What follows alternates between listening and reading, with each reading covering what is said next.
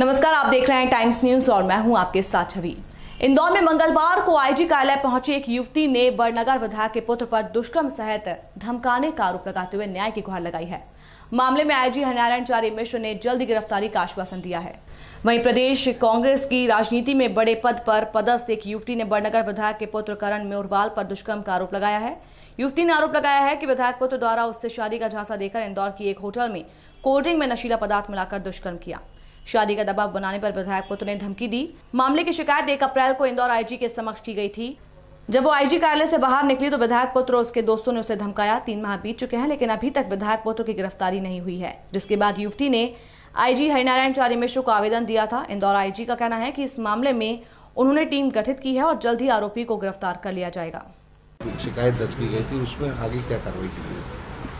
उसमें टीम गठित की गई है उम्मीद है जल्दी गिरफ्तारी उसमें सुनिश्चित की जा रही है। अब आपके मोबाइल और स्मार्ट टीवी पर लाइव प्ले स्टोर से डाउनलोड करें।